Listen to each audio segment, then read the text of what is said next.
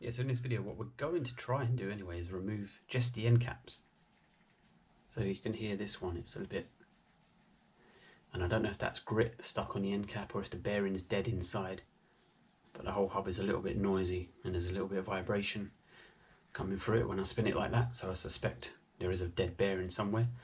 These can get seized on. I think one of the things I will say straight away is, we can get that to there, there's no point trying to wiggle this silver bit on the end because that's an axle and that basically runs all the way through the hub to the other end. So the end caps are basically separate from this axle here. Uh, one of the methods that I will be using is hot water. So we've got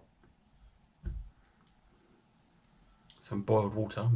You can either drop this in just so the end cap is submerged or if you wanted to you could basically just pour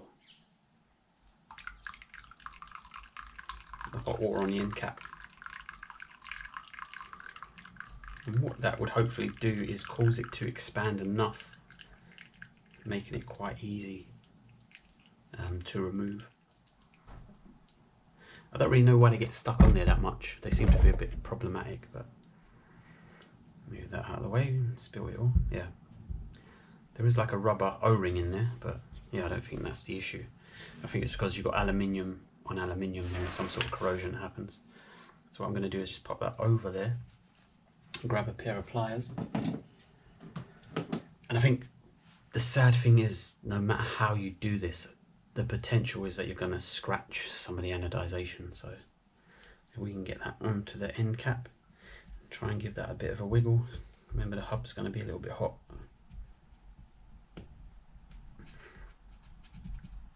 Let's have a little look. Looks like it's moved a tiny bit, but not an awful lot.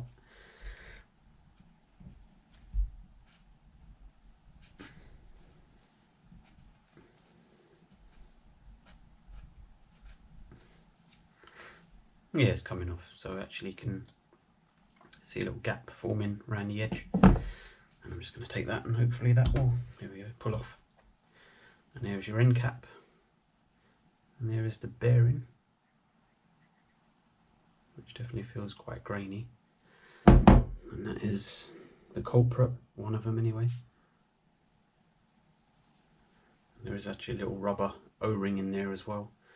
And I think sometimes people like to chuck a load of grease on them to try and stop it seizing I think sometimes the grease might affect the rubber and cause that to expand a little bit, which can make it worse, but people are just trying to help, I guess. Now we're left with this hub. There we go, somewhere over there, there's a camera. We're left with this hub. Um, you have a couple of options. You could grab like a steel bolt that will fit into that hole. So it fits in there. And then you can knock that out with a hammer but what that will do, it will take out the whole of the axle, it will take the end cap off and potentially the bearing on this side as well.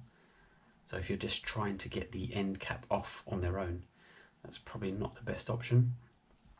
But it is an easy way. But then what you end up with is you end up with the end cap and the bearing stuck to the axle.